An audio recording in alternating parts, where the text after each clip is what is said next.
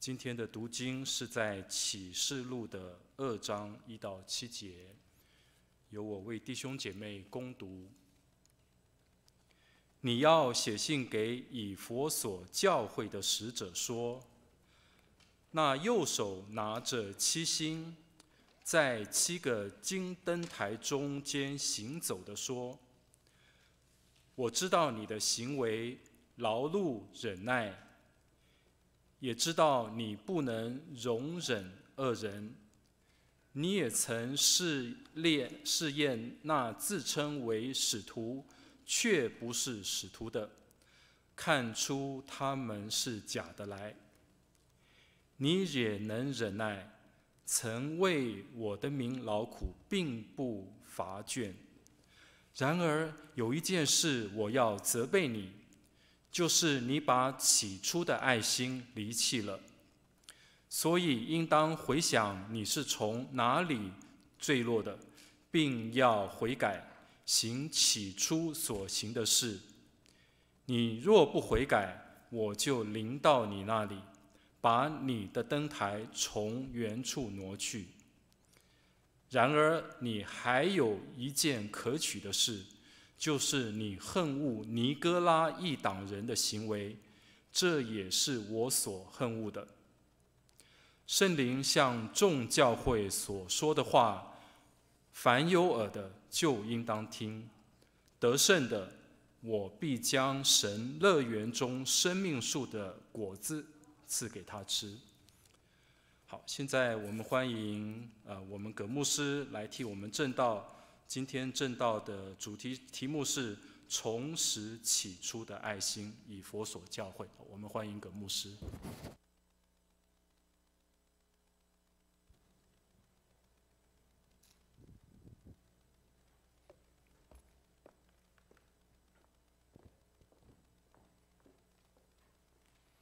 好嘞，路亚弟兄姊妹，很高兴礼拜天跟大家再一次见面。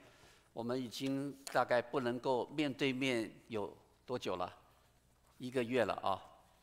啊，我想啊，大家都很渴望有一天我们可以再见面。但是在这个时候，我们知道我们最宝贵的就是，虽然我们不能够面对面的见面，但是主仍然在我们中间。呃，今天我们要跟大家继续的来看，从启示录里面，我们要来分享主的话语。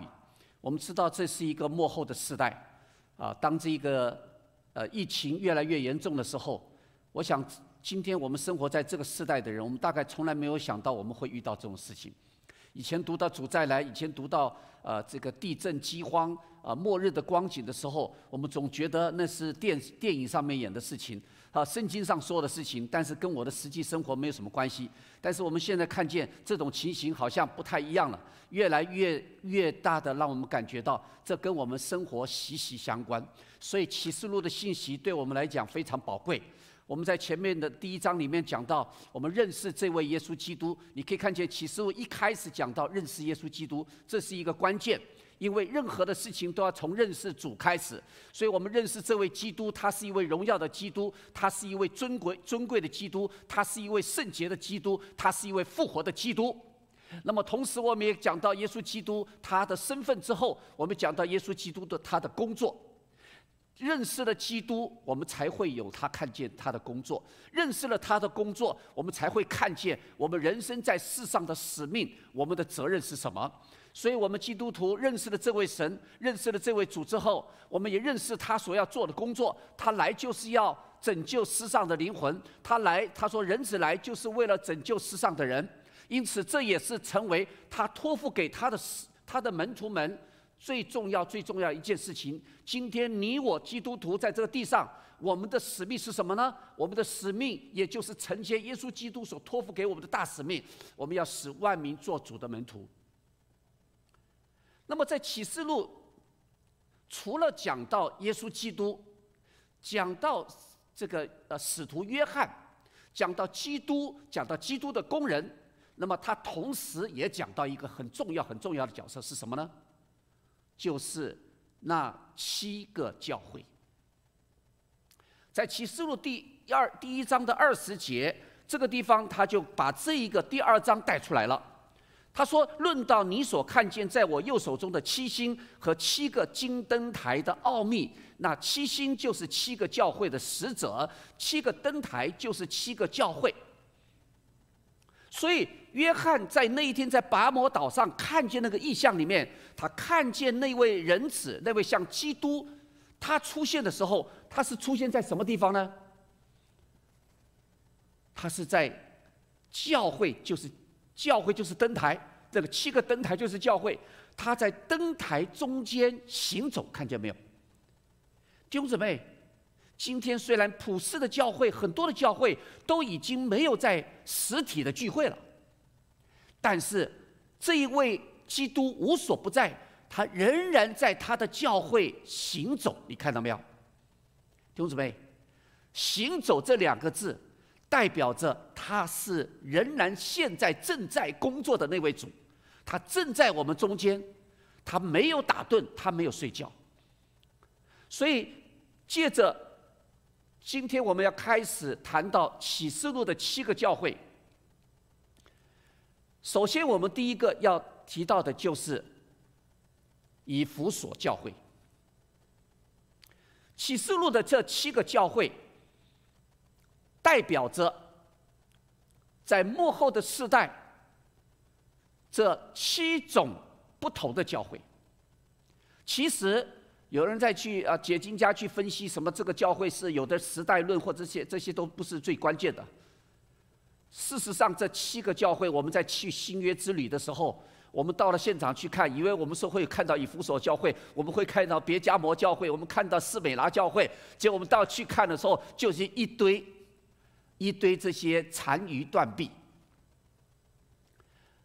事实上，我们问那个导游说：“哎，这个教会是不是真的在这边有一个当初的这个教会？”事实上，也不一定是在那个地方。现在根本没有办法去找到这间，所以他所谓的以弗所教会是代表在以弗所的众教会的做一个代表。而且当时候的背景里面，其实教会面临逼迫，教会根本很难有一个所谓实际上面的 building。所以，这个教会存不存在呢？确实存在，只要有一群人聚集在一起，就是教会，是不是？从这个角度来讲，那么，但是当这一些弟兄姊妹们在当时候的环境里面，他们可能散居在这个家中，可能散居在另外一个一个家里面聚会。所以在以弗所可能有好些个教会，好多个教会，但是在这里他就是提到说，针对以弗所教会所讲的话。所以以弗所主对以弗所所讲的话，不单单是过去那个时代，在当时候施洗呃使徒约翰写书信的时候，那个教会，他同时也是对历世历代的教会在讲话。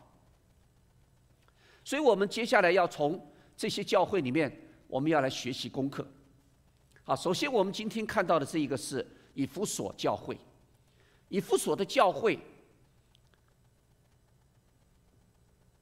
每一个教会，你可以看见主对他们都有他的一些称赞，有的还有责备。那么不例外的，以弗所教会也是如此，主对这个以弗所教会有一些的称赞，但是他有。他也对他们有责备。首先，我们来看主对对这个他们的称赞是什么？哈，我们稍微可以了解一下这个当时候的这个地理环境背景，哈，可以帮助我们啊比较更清楚，哈。那么弟兄姊妹，你注意看，这个是以弗所的这些七个教啊呃这个呃启示录所说的这个七个教会，都在啊现在的土耳其的这个地方啊。所以我们去啊新约之旅的时候，我们很多的时间是在土耳其，就是这个原因。那么 我们看看以弗所教会哈，这个上面，呃，这边可能还没有出来。好，有没有看到以弗所教会？好，然后斯美拉教会就这样子啊，一个一个的教会围绕在这个土耳其的这些地方。好，那。以弗所教会就是在今天这个土耳其的地方。那我们来看一下，以弗小所教会是什么样一个教会呢？如果我们用比喻来来讲的话，以弗所教会就好像今天的上海，它是一个交通地理位置非常是一个海港，很靠近，所以在那个年代海港是非常交通方便，而且也是海运呢，这这个整个商商贸的一个一个很重要的一个城市。那以弗所是当时候除了安提阿、亚历山大之外的第三大城，在罗马统治之下的第三大城。所以，以弗所是一个很重要的城市。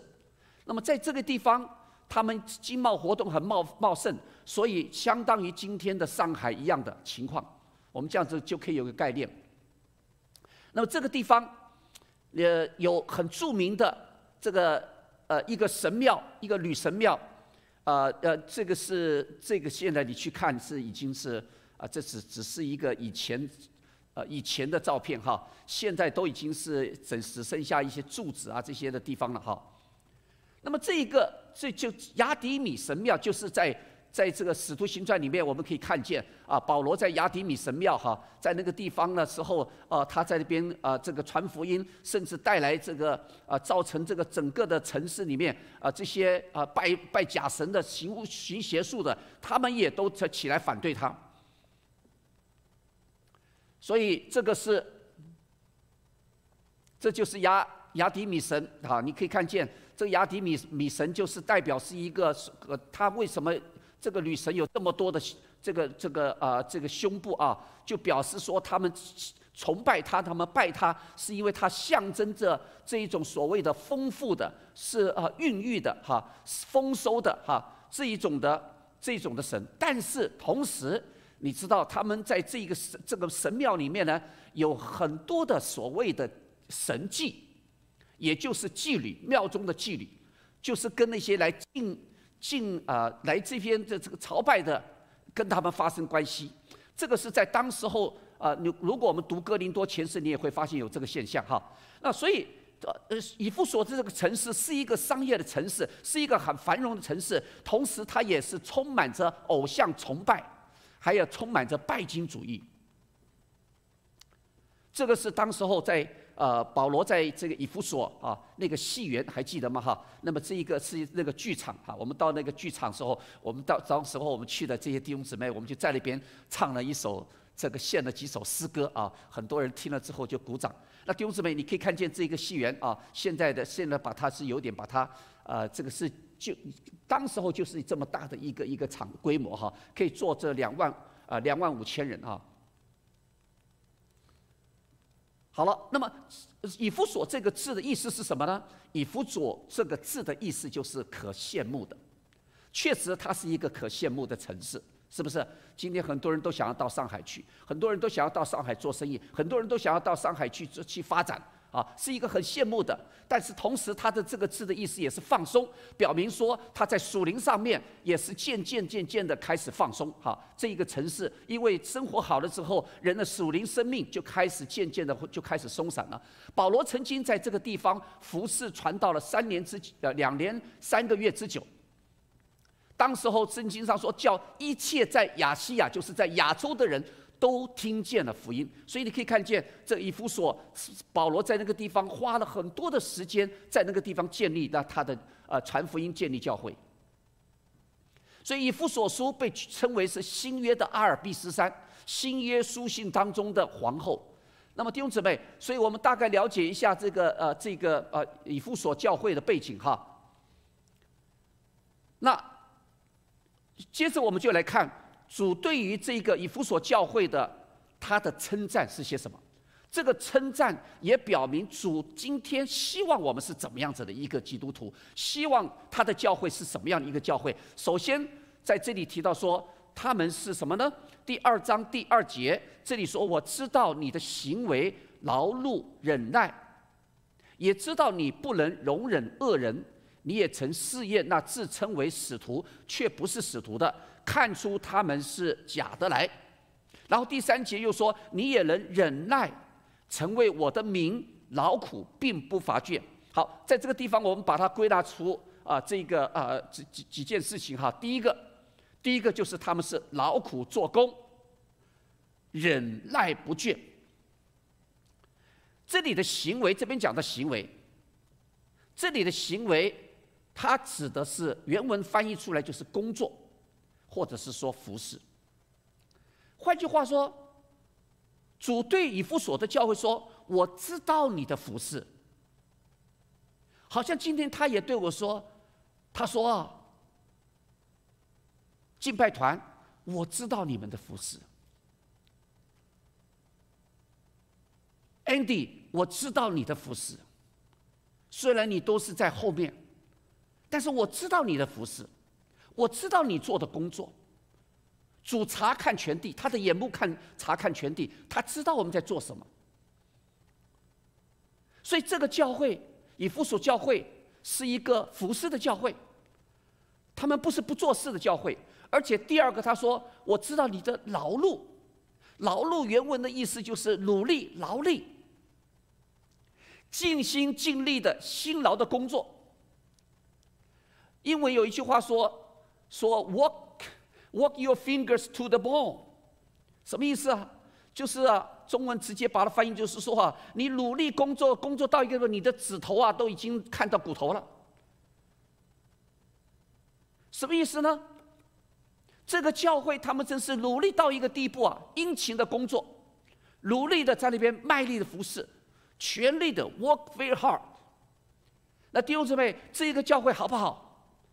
你想想看，如果我们林良堂主今天称赞我们说：“哎呀，林良堂。”真的是努力工作啊，努力服侍啊，忍耐不懈啊！弟兄姊妹，如果今天你是一个服侍主的人，你可不渴望主有一天在见你面的时候，他说：“你真是努力的，你真是一个殷勤的服侍的人呐！”每一次你带敬拜的时候，我都知道你真是用心呐，你真是尽力的在那边服侍啊！每一次你在带小组茶几的时候，我知道啊，我都看见你在那边怎么样子挑灯夜战，在那边预备，你在那边很尽心尽力的祷告，预备这些东西，我都知道你很努力的一个人呐。弟兄姊妹，这个教会好不好？你会发现，在圣经里面不不仅仅是主耶稣、保罗、使徒们，神所使用的人，每一个都是如此的。保罗在他。在哥罗西书第一章的时候，他这样讲：“他说我也为此劳苦，照着他在我里面运用的大能，尽心竭力。”保罗说：“我也为此劳苦。”保罗说：“我尽心竭力。”所以保罗也是 work 他的 finger to the bone。保罗也是非常努力的在服侍。弟兄姊妹，保罗不是闲懒不结果子的，所以保罗常常他他在在书信里面也责备那些不做事的，他不做工就不可以吃饭，所以保罗不是要我们天天天就关在家里面，就在那边这个翘个二郎腿看电视的。不是的，疫情这这个时间越长，可要可能我们就是变成是这样子了。坐在家里面，哎，一吃饭时间又到了，吃完饭之后，哎呀，该去睡个午觉了。吃完睡完觉，哎，起来，我们又去看看电视啊，或或者划划手机啊。一天可能花了时花花在划手机的时间，可能花了超过八个小时。那丢是被不是的，上帝渴望看见他的儿女们是努力在那边侍奉神的。那么接着他说忍耐，而且他讲到这个忍耐的时候，他讲了两次。第二节讲了一次，第四节讲了一次。如果你去看保罗书信里面，你也会发现忍耐也是一个很重要的一件事情。我们最熟悉的一个呃，这个呃叫爱篇，对不对？哥林多前书十呃十三章怎么说？爱是很久忍耐。是不是？所以你会发现，忍耐在整个神的这个儿女的生命当中，那个品格的塑造里面，是一个非常重要的事情。所以雅各也说，雅各就提到在雅各书第五章第七节哈，如果你看了这个经文，你可以跟我一起来念，好不好？来，弟兄们呐，你们要忍耐，直到主来。看呐，农夫忍耐等候地里宝贵的出产，直到得了秋雨春雨。雅各在这里用农夫的做一个比喻，他提到说：“你们要忍耐，其实他在这个地方是提到主要来了，所以我们要忍耐，直到主来。弟兄姊妹，我们今天在地上，我们在这边服侍，我们在这边辛苦，人家都在家里面睡大睡大觉，我们还要逐日早上起来聚会，为什么？人家都在家里面好好休息，礼拜天好不容易，而现在又不到教会去聚会，也不用赶这个去去去找旁停车位了，所以我就在家里面睡到十一点十四分五十九秒，可不可以？可以。今天葛牧师早上四点半就起来了，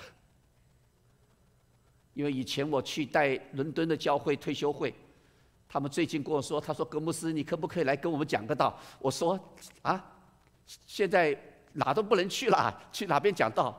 他说没有，我们现在也都改成这个是线上聚会了，所以他说你就只要在美国，你来跟我们讲道啊，所以就定了今天早上，算一算他们是下午聚会。那算到我们这边时间，哇！我本来以为他跟我讲说是七点钟，后来昨前几天跟我讲说，他说牧师，我们算错时间了。哎呀，不好意思，你那边的时间是早上五点，我们开始聚会。哇！然后他问说，牧师你可以吗？可以吗？啊，他说如果是太早的话，我们改一下时间，我们就叫弟兄姊妹晚一点上线啊。我们也许改到六点钟啊。我后来就跟他们开玩笑，我说没有关系，我说中国的早晨五点钟。那我就这边美国的早晨五点钟吧，所以今天早上四点半起来，昨天差不多十二点才睡，所以早上四点半，然后准备预备跟他们这个分享，啊五点钟讲到，啊弟兄姊妹，为什么这么辛苦啊？为什么这么辛苦？弟兄姊妹，你可以看见今天有太多的需要。如果我们只想到我们自己，如果我们只是想到我们自己的需要，实在说，我们可以很清闲的过日子。但是，亲爱的弟兄姊妹，你如果看见今天这个庄稼到处都是已经是庄稼成熟了，你今天看见到处都是需要，你就感觉到真正我们巴不得我们要殷勤做工，我们要忍耐等候，因为当我们努力的时候，你会不会累？当你在那边做工的时候，你会不会有有有这些的别人的一些的抱怨或者别人的一些批评呢？当你面对到这些服饰的当中会有挑战、会有难处的时候，你不是在今天打个电话给别人问候的时候，别人都很高兴说：“哎呀，太好了，宇康传道，你打电话来，我真是等候你啊。”也许有人说：“啊，呃呃，很抱歉啊，这个我这时候不方便接电话。”啊，但现在就这么，你记得一件事情：今天我们做这一切。如果我们知道我们是为主做的，我们就可以在主的面前有这样子忍耐等候的心。所以保罗在这里啊呃呃，约翰在这个地方呃这个写到这个以弗所教会的时候，他说主称赞这个教会，他们是努力的侍奉，他们如劳苦的在那边辛劳的在那边侍奉，而且他们是忍耐，他们坚忍。忍耐这个字是坚忍的意思，是很忍的意思。换句话说，他不是忍一下。今天有的时候，我们的忍耐是只有五分钟，甚至可能五秒钟。但是，这一个以弗所教会，他们的忍耐是持续的忍耐，很久的忍耐。弟兄姊妹，神要操练那些他跟随他的儿女们，神要操练他的得胜者，要有一个品格，就是忍耐的品格。所以你不要认为说，今天神容许发生在我们生命当中的事情，都是为什么上帝要让这些事情发生？我们真巴不得祷告一下子，然后这个疫情就停止了，我们就可以该该吃就该吃，该喝就该喝，我们该去做什么就做什么，我们就重新过我们的正常生活了吧？是不是？弟兄姊妹，如果你想上帝允许这个疫情来就这样子的话，那我宁可我们不要，我们宁可我们不要祷告，因为这不是神的心意。神的心意不是说疫情赶快结束，大家好好，你们呃该去做什么就做什么，你们回归正常吧，弟兄姊妹。神容许苦难，神容许这些临到我们，一定要我们学功课的，要我们结出义的果子来。所以。神要我们学习，在这个时候学习更多的来祷告，依靠他，学习在祷告当中，而且要持久不灰心的灰，呃，在在祷在祷告，这些都是忍耐的品格。所以这个教会真的是一个好教会，是吗？弟兄姊妹，讲到这一部分，我要先提一下哈。讲到这一个以弗所教会是一个殷勤服侍的教会，我想今天的教会啊，都我做牧师的，大概常常最痛苦的一件事情就是什么？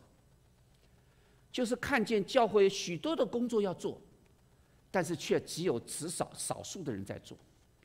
啊，有一个教会。教会增长的理论里面就在讲这么一个事实，就说教会大部分的都是百分之十的人在工作，然后呢，百分之九十的人在那边隔岸观火。百分百分之十的人在在球在球场里面在那边打球啊踢啊的，那百分之九十的人坐在那观众席上，嘿，好，好，哎，米歇继续做，继续做。说有人做音控做了十年，做了二十年。有人在那边做放 PowerPoint 的，放了十年。有的人在那边带敬拜，带了十年，还是没有人，没有年轻的人出来。弟兄姊妹，教会不是这样子的光景，教会不应该是这样子的光景，教会应该是人人都侍奉的。教会应该是不管是年长年轻的，大家一起在主的面前，各百节各按各职，互相的配搭，要把这个基督的身体建立起来。有一次，这个那么有一个弟兄，那么牧师啊，每一次在啊，每一次在教会里面大声疾呼啊。那么希望弟兄姊妹参与服侍，他每次看到这个弟兄呢，他都跟这个弟兄，哎，弟兄啊，希望你出来服侍啊！哎呀，你你这这个我们甚至需要你啊，你要出来服侍啊！每一次这个弟兄当牧师跟他讲的时候呢，他都跟他笑一笑，然后跟牧师摇摇手说不要不要。他说：“牧师，啊，没有，呃，有的时候他就讲说我很忙啊，有的时候他讲说，哎呀，我最最近刚刚这个家里面又是啊有什么事情，有的时候又讲说是这个这个工作怎么样子了哈，反正他总是有理由哈，所以每一次他都跟牧师这样讲。好了，牧师跟他讲了很多次了，讲了很多年了，有一天呢，牧师看到他又跟他讲，他弟兄啊。”好不好？你真的要出来服侍啊？那个弟兄呢，又摇又说：“哎呀，牧师啊，不行不行啊，我没有恩赐啊，我什么都不会。”那天牧师很幽默，就跟他说：“他说弟兄啊，我看你每一次我叫你服侍啊，你都说你不会，你都说你有事情，你手一直在那边。我看你很会，我知道你有一个东西，你一定很会，就是教会的玻璃需要你来擦，你来擦好不好？”他很会这个。很会这个，弟兄姊妹，我不晓得你是不是那样一个人。我发现，在教会里面，今天特别是越是在教会久了，越是信主越久的，越需要悔改。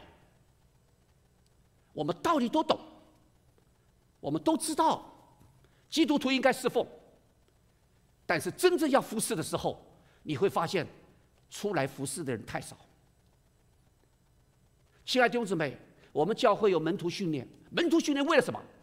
门徒训练是为了要弟兄姊妹们受装备、装备好出来侍奉神。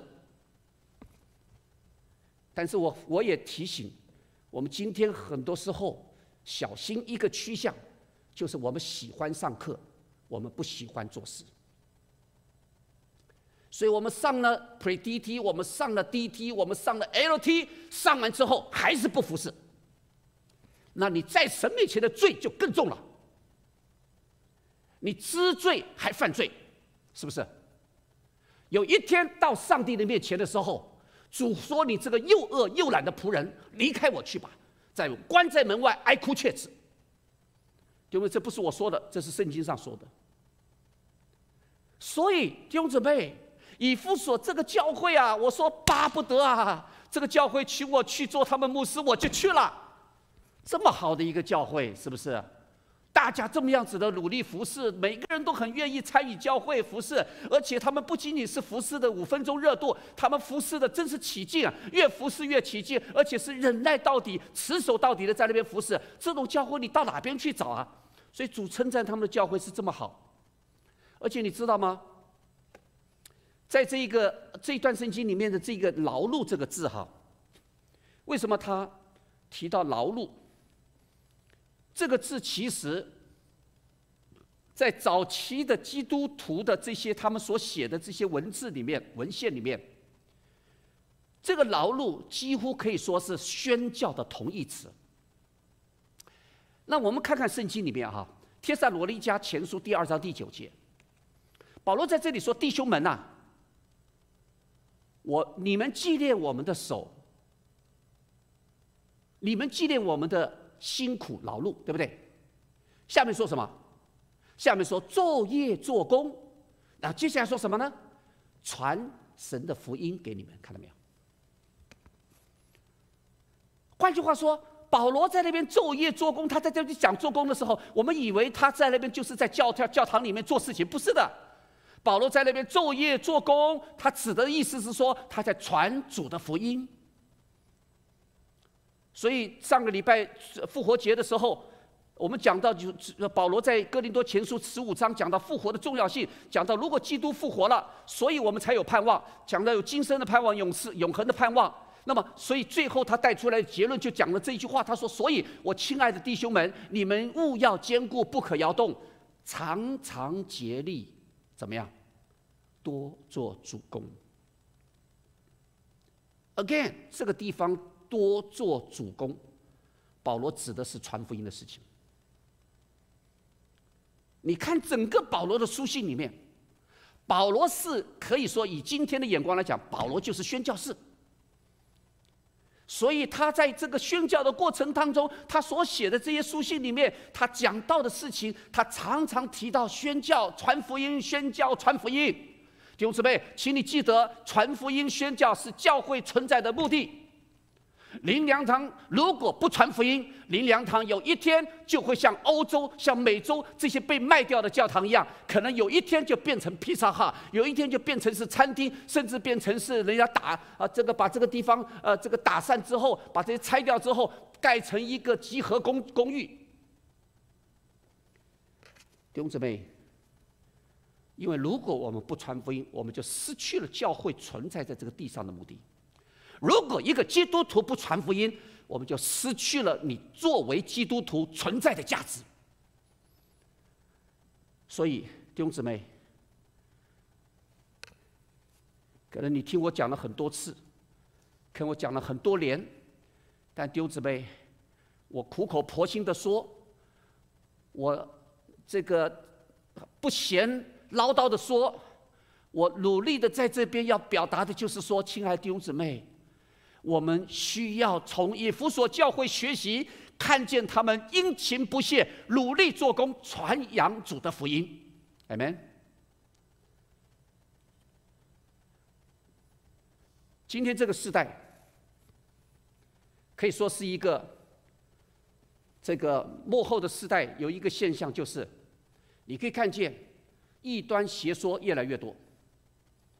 那你会发现这些异端。他们之所以成长得很快，有一个特色就是什么？他们都很热心传，有没有？耶和华见证人，这是一个异端，基督教的异端。你听他的名字，你就知道他叫耶和华见证人，什么意思？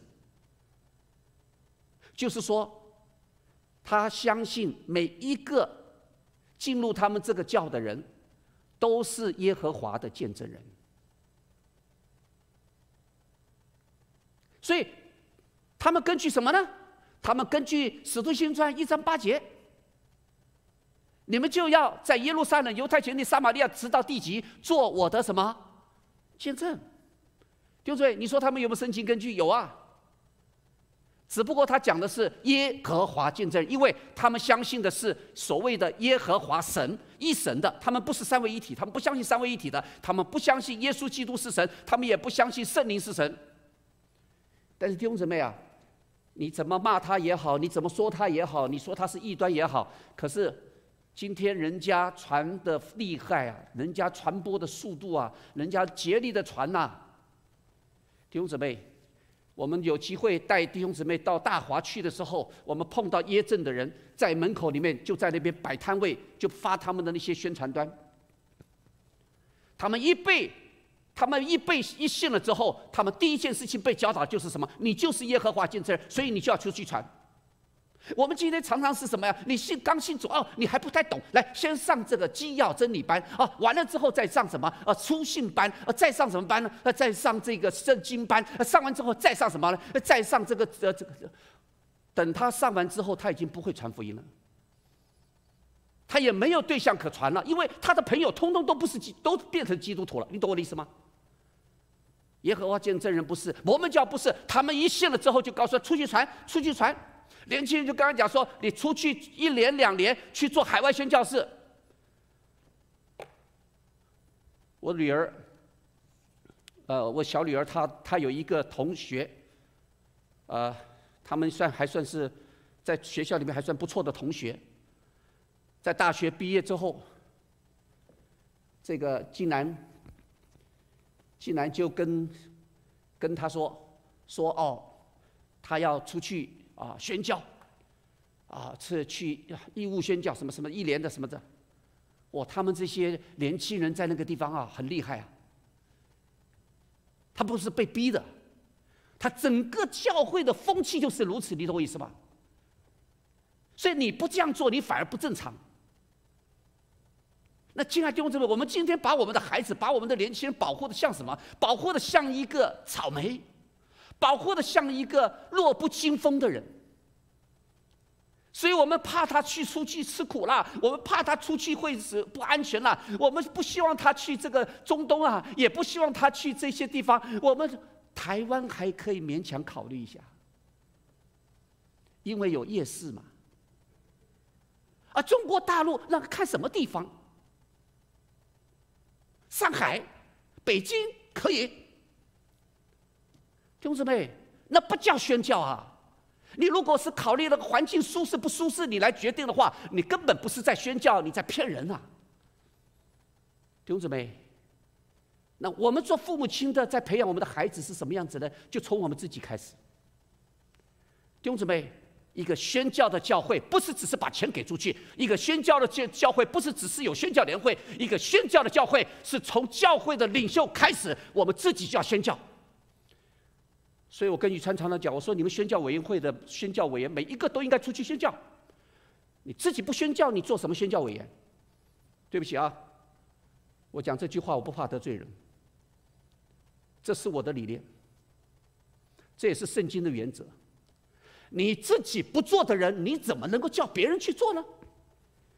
教会有时候就可怜到这个地步，因为没人要做这样子的事情。好了，既然你没有经验，你也没做过，没关系，你就来做吧。那也没关系了，你没经验，对不对？但是你有愿意的心，好，那我今天做了宣教委员会的这个这个同工，那么我就就每一年我都出去宣教，是不是？否则，一群如果没有经验的人在那边决定有经验人该怎么做，这不是很可笑的事情吗？而教会往往就做这种事情。就是以父说，教会不是这样子。以父说的教会，他们努力的在那边宣教，努力的在传传福音。他们不是只是到远方宣教，他们在本地也热心的传扬福音。弟兄姊妹，这个教会被神称赞，被主称赞，这个教会有太多值得我们学习的。那第另另外第二个。另外，第二个，这个教会是一个什么样子被主称赞呢？呃，这个好，我们看一下哈，在这一个提到说末世的现象，就是假先知、假基督，或者是这些假使徒越来越多，这也是当时候啊保呃这个使徒约翰所面临的情形。他说，所以所以他说，我知。他说：“你不能够容忍恶人，你也曾试验那自称为使徒却不是使徒的，看出他们是假的。所以这个教会还不单单是努力复试传福音哦，这个教会它还有一点是非常值得我们学习的，就是他们在真理的根基上很清楚。他们有真道，他们明白神的话语，所以他们能够试验，甚至那个假使徒都被他们试验出来哦。哇，不得了！今天这是幕后的时代，幕后的时代，你会发现越来越多这些虚假的事情会出来。这耶稣也提醒我们，他说：“你们要防备那个披着羊皮的假先知。”那么保罗也提醒说，他他提醒以弗所的教会，他说：“当他走了之后，会有凶暴的豺狼进入你们中间。”那么使使徒约翰，他也在约翰一书里面提到说：“他说世上有许多的假先知、假基督要出来。他说这一世上的这些灵，你不要都信，你要去试验那个灵。”弟兄姊妹，现在这个幕后的时代。越来越多的虚假的这些的真道，一虚假的这些道理会出来，似是而非的道理会出来。我曾经提过这个东方闪电，现在他们叫做全能神。最近又有人把他们的这个呃一些的资讯啊这个啊传给我，啊哇，我就看见这个呃这个网这个这个嗯全能神网站啊，全能神这个教这个教会哈，那么他们现在。积极的借着网络来传播他们的思想。现在他们已经发展出来有四十八个中文的网站，有六个英文的网站，还有一个韩文的网站。这是目前为止。我几乎去找末日的这些讯息啊，我只要 Google 里面去找哈，大部分找到是他们的网站，甚至你去找贴图。你找很多的贴图啊，你要注意啊，你不要乱贴，你要注意看看它是从哪里出来的，很多也都是从他那边来的。他们这样子花了这么多的精神体、这个金钱、人人力投资下去啊，特别在这个疫情的时间，大家都在上网，对不对？好像网络变成是大家唯一能够得到最多 information 的地方，所以你可以看见他们多厉害。你有没有听过叫做跟随耶稣网？你有没有听过叫做中文圣经网？哎，弟兄姊妹，你听这些东西，你一想，这一定是基督教的嘛？是不是？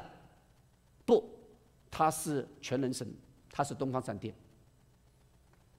特别弟兄姊妹，在这个幕后的日子，你要去了解末世的事。所以我为什么要讲启示录？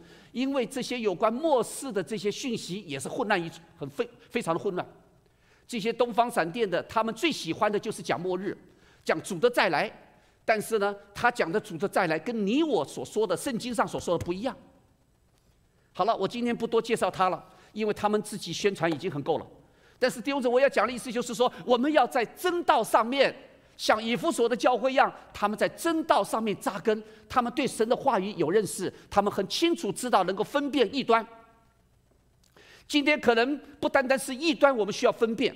现在有很多已经是混淆的福音，已经是混乱了，或者是是把主的道已经把它带到一些偏颇的地方去的，我们都要小心，都要防备。我在祷告会的时候曾经提过，我说这一个 这个福斯电电台哈，叫电视台。他们很好心啊，因为他们也大概也是比较是对基督教比较好的，所以他们就把。那个复活节那一天的这个节目哈，都变成是很多是这个这个呃呃基基复活节的这些 program，那么甚至也邀请很多的这些牧师有名的牧师来讲道。呃，我们的七点钟的时候我就听了那个 Franklin 的啊格格里格里汉牧师的儿子他的他的讲道。那么但是他也里面也提到说，他们突入那一天当中会邀请到这个呃 Joe Austin，就是德州的那一个啊美国教会的牧师哈，也会邀请这个啊新加坡有一个叫平约瑟哈平约。色，他的英文就是叫做 Joseph Prince。那弟兄姊妹，这些人是什么人呢？这些人讲的是成功神学。特别离谱的是这一个平约瑟。有一次我看到网站上面他的一篇信息的一个中文的翻译，看到最后我说：“哇，我几乎可以从这一点说他是异端了。”但是你不需要认罪，上帝的恩典大过你的认罪啊，对不对？上帝恩典大过你的罪，但是没有说上帝的恩典大过你认罪哦。你有没有发现？似是而非的道理。所以他的意思就是说，上帝爱你，whatever you do，没有问题，他都接纳你，他都爱你。弟兄姊妹，今天这喜这种信息人喜不喜欢呐？我今天在家里面犯奸淫，我到了教会来，牧师还说你上帝是爱你的，你说他喜不喜欢？弟兄姊妹。今天的讲台越来越少讲到罪，越来越少讲到悔改，越来越少讲到主的十字架，越来越讲到越来越少讲到舍己，越来越多讲的就是说你很重要，你很宝贵，你很重要，你很可爱，你是被上帝所爱的，没有错。我要讲，这不是说这这不是说他完全不对，但是他只讲了部分的真理。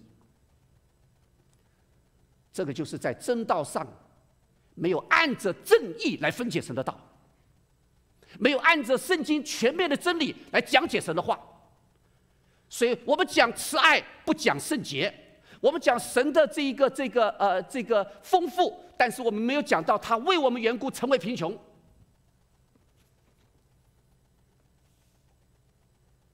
那另外，今天跟这个所谓成功神学的另外一边，在美国，特别在北美，有一个。在北美的华人牧师也算是一个在啊这个啊这个啊神学方面啊是很有很有一个研究的一位牧师哈，我不讲他是名字。他在他的他的一本书里面，他这样讲，他说人文主义、理性主义、民族主义这三个变成了今天教会所推崇的世俗民族主。世俗民主三位一体的神，三位一体就是人文主义、理性主义、民族主义三个变成是三位一体，然后就变成了世俗民主主义。那你说教会有受这个影响吗？有。今天很多的北美教会都是用所谓民主制度在治理教会的。这就是世俗民族主义。你去看圣经里面什么地方告诉我们是这样做的？没有。以后我们会谈到老底家教会，老底家教会，老底家这个字就是人民做主。所以你希望做老底家教会吗？弟兄姊妹，可是今天美国啊。美国宣扬他的美式民主，全世界他觉得你们中国不民主，他觉得你们呃这个这个哪个地方不民主，委内瑞拉不民主，我们美国最民主了，最民主的国家。所以你知道吗？美国民主到一个地步啊，总统跟州长对着干。最近这个呃呃纽约州州长为了这个疫情的事情，就就呛瞎，就跟这个川普讲说。他说：“你少看点电视，多做事儿。”意思就是说，你每次看电视看到我在那边发表什么，有你你又开始就抱怨我了。那川普就跟他讲：“你少抱怨，多做事。”谁也不听谁的，州长不听总统的，总统不听州长的，到底听谁的？所以你会发现，我们的国家很 confused，有没有？那我们很自豪说：“你看，我是民主的国家，弟兄姊妹。”不知不觉，我们把民主当神了。如果今天美国没有让上帝来带领，这个国家一定走向灭亡。再好的制度，如果不要上帝来做主，这个制度就是咒诅。所以，求主帮助我们，让我们学习来跟随主，让我们学习在神的话语上面跟着主的话，按照主的正正义分解主的道。让我们照着主的话来行事为人，而不是跟随这个世俗的这些什么主义、什么什么流行什么。好，最后，那讲了这个这个主主称赞他们的，那这个教会真好，对不对？可是这个教会有一个问题，什么问题？就是他们离弃了起初的爱心。这个“起初”这个字。它有两个意思，一个是在，呃，就是说时间上面，所以我们说 in the beginning，这是时间上面。但另外一个性质另外一个意思呢，它是性质上面的。那这个是指什么呢？就是 first priority。中文翻译出来就是说，这是第一的，这是最要紧的事，最要紧的事有没有？就是彼此切实相爱，那个最要紧的事。这个地方讲的，就是这一个 first。换句话说，主责备以弗所的教会，你把最重要的那个 first love 丢失了。我们都知道初恋呐，初爱啊，啊，刚刚开始的时候，啊，那常常是很多人所怀念的，是吗？夫妻两个人在交往的时候，哎呀，每一天还没有看没有看到他，真是想啊。想啊，我记得有一个牧师，他提到说，他以前到那个他的太太的那个读的学校，他的学校，啊，是一个比较偏远的，在台湾的时候是比较偏远的一个地方哈，所以他说每一次啊，他骑着摩托车啊，骑一个多小时，骑到他的学校的门口，就是为了等他下学，等他放学，然后载他回去。哇，这样做不是一天两天呐。这样子是成年累月的，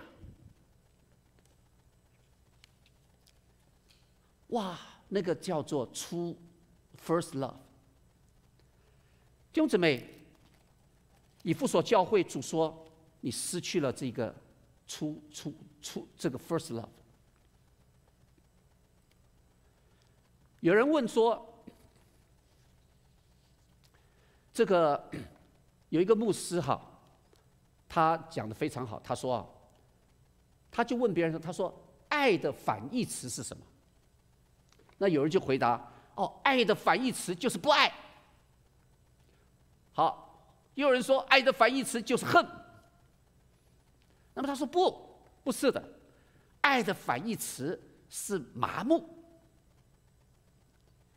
什么意思呢？他说你开始的时候爱的轰轰烈烈，感觉特别好。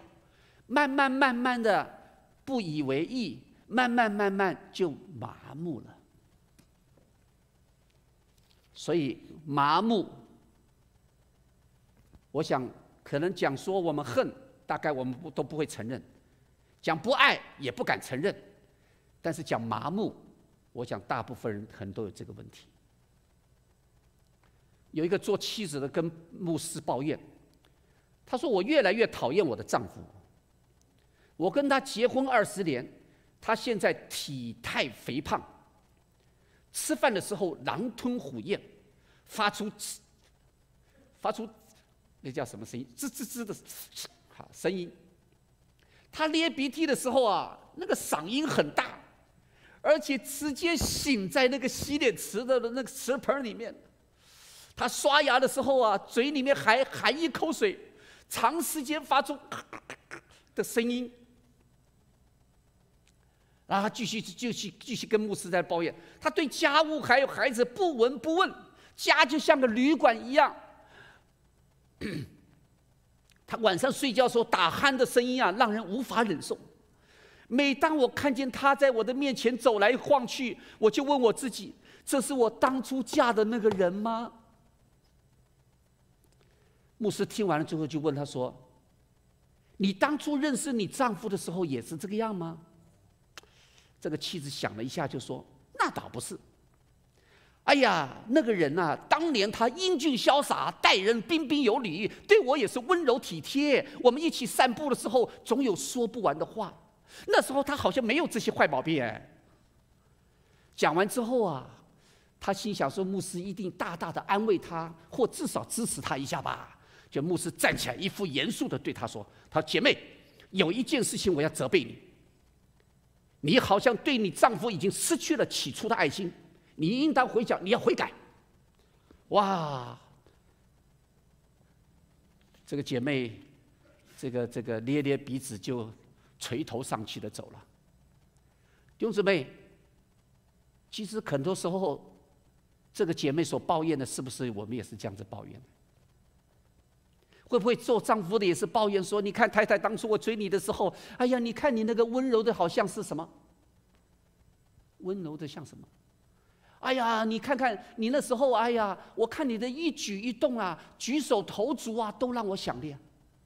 怎么我现在一看到你那个黄脸婆的样子，怎么我一看到你哎那样好？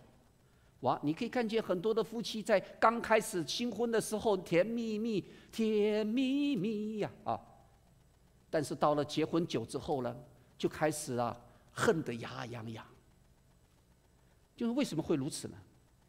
因为失去了起初的爱。我们今天跟主的关系也是如此。我们是不是失去了起初的爱？我们起初还刚刚信主的时候，我们真是啊，真是爱主啊！我看到很多弟兄姊妹刚信主的时候，那真是爱主啊，追求主啊。每一天就是想到要来教会聚会啊！哎呀，读起圣经来啊，真的是一天八个小时都不嫌多。聚聚会的时候听到津津有味，哎呀，唱诗歌一唱歌就感动流眼泪。哎呀，信主了二十年了，可能还不要等二十年，可能信主了三年五年，慢慢，哎呀，怎么又是他讲道？哎呀，怎么又是这个人带敬拜？哎呀，怎么又唱这些歌？哎呀，为什么老是教会这样子？就开始埋怨了，开始挑剔了，开始越来标准越高了，开始都开始指责别人了，自己就一根指头都不肯的，这叫法利赛人。教会最可怕的就是越来越多的法利赛人，所以教会如果不传福音，就会形成是法利赛人俱乐部，你懂我意思吗？当然，我的意思就是说，不是说我们今天在这里信主久的人，你就变成像法利赛人。但丢子妹，如果我们不传福音，教会失去了那个新鲜的对主的爱。你看看，一个刚信主的人对主的爱就是新鲜的。我最近看到一个姐妹，她信了主之后，她把每一次抛给我看，她怎么样子花时间来祷告、亲近神、跟神的表达，我就看了，我就说：哇，那就叫做新鲜的爱，那叫做 first first love。好像主对他是那样子的一个，他全身心都要投入的那一个对象，是他爱的中心。弟兄姊妹，这就是今天主对以弗所教会的责备：你已经离弃了那个起初的爱，那个 first love，那最重要的那个爱。弟兄姊妹，都知道玛利亚跟马大的故事吗？是不是？我们都知道马马大跟玛利亚的故事，是不是？马大在那边做做家事做饭，要请十二个门徒，耶稣、拉萨路加起来夯不啷当大概十七八个人吃饭。请问马大爱不爱主？有人就替马大不公不抱抱怨抱这个替他打抱不平，说马大也是爱主啊，只是他是用这样方式来爱主吧？那你你你自己你读读圣经这样读了你就糟糕了，很有可能会变成异端了。请问圣经上里面提到玛利亚做了什么事情？因为耶稣知道他的日子不多了，因为耶稣要被卖了，因为耶稣耶稣在这这玛利亚知道那个时候，换句话说，玛利亚做的那件事情还不单单只是把那个香膏打碎，那个香膏很值钱，而是玛利亚知道他在主的面前，在主的脚前，他聆听主讲道。他聆听主，最后因为那个时间很有限了，很宝贵了，他珍惜那个宝贵的时间，跟主在一起的时间。这个意思不是说玛利亚不做家事的，千万不要这样子认为。也千万不要认为说上帝不喜欢我们去服侍，不喜欢我们去传福音，不不是。关键是在那一个 moment，在那个时候，他不知道主看重的是什么，是他那一颗。爱主的心，所以他称赞玛利亚说：“他选择了那上好的福分。”弟兄姊妹，每一天早上起来，第一件事情，你有很多的事情要做，你可能要做家事，你可能要照顾孩子，你可能要把孩子家家人先生弄好了送出门，这些事情都需要做。但是弟兄姊妹，有一件事情你应该要先做，这件事情是什么？就是你要先来亲近这位主，弟兄姊妹，这是今天我提到的一点，有很多你可以自己再去想。但是我要提到一点，就是说，主啊，听弟兄姊妹们，这一个初初的爱，你要回想，你起初信主的时候，渴慕主的话，读主的话，亲近神，现在渐渐没有了。你要回想你在哪个地方跌倒的，你从那个地方开始。你要悔改，你悔改，悔改的意思就是说，我本来往这个方向走，我现在不往这方向，我转过来，一百八十度转变了。我意思就是说，我不是只是认罪，我认了罪之后，我还要离开那个罪，我要往反方向，我要往对的方向去走。然后接下来他就说，你要行起初所行的事情。这些年，韩国教会、中国教会都面临一个现象，就是因为经济发展越来越好之后，教会开始也越来越不容易这个有晨祷了。以前中国教会，中国早晨五点钟，韩国教会也是早晨五点钟起来，就是教会很多人祷告，看到没有？人山人海在那边祷告。这当然这是一个特会，这是在韩国祷告山的一个特会，很多人去参加那个特会。但是我跟你讲，在韩国本来是每一个教会早上都有都有这个晨祷。参加的人数常常都是教会里面很多的人去参加的，但是这些年来，参加的人也渐渐越来越少。这反映现是什么事情？就是爱主的心渐渐冷淡了。弟兄姊妹，感谢主，这一次的疫情带来了一个结果，就是我们大家都没有别的事可干了。所以呢，我们现在晨祷每一天早上有超过七十人以上。我们在这个奈的这个群组晨祷，我们祷告会不在教会举行了，但是呢，在线上面也是差不多每一次有平均超过七十人在那边，在那边一起祷告。弟兄姊妹，这个是好现象，对不对？但弟兄姊妹，我要说，不要只是在疫情的时候这样子，你要回想你在哪个地方跌倒了，回想我们起初对主的爱失去了，要悔改，要站起来。行起初所行的，行起初所行，原文的意思里面，他是说是 repeat，就是重复的去做。换句话说，这不是做一次两次，这要持续的做，持续的做。所以每一天早上的灵修，弟兄姊妹，我可以告诉你，我这么四十多年来的经验，这是不是一天两天可以养成习惯的？这是花了我几年的时间，初出信主的时候，花了好多年的时间在那边挣扎、挣扎、挣扎，但是最后、最后养成这个习惯的。弟兄姊妹，这只是一个开始。从每一天我们跟神的关系开始亲近神，让我们真是恢复我们起初对主的爱。我们一起来祷告。主耶稣，我们谢谢你，我们赞美你。主啊，再一次让我们回想。主啊，我们是不是一个殷勤侍奉你的人？我们是不是一个努力在传扬福音的人？主啊，帮助我们的。弟兄姊妹，帮助我们，让我们不单单是努力传扬福音、积极宣教、殷勤侍奉，我们更是充满爱心、爱神爱人。让我们是一个主啊，没有离弃那起初的爱。让我们真是每一天，让我们对你的爱越来越增加，而不是减少。求主你帮助我们，也帮助我们的教会。主啊，想到五十多年前这个教会成立的时候，弟兄姊妹们当初的那一批弟兄姊妹们，殷勤的在那边传扬福音啊，这个侍奉主。主啊，主啊，多年之后，让这样子服侍你、爱你、侍奉你、传扬福音的心，再一次的如火一样挑旺起来。而我们做这一切，都是因为爱你的缘故。求你亲自在我们教会做成你的工作，听我们祷告，奉耶稣基督的名。Amen.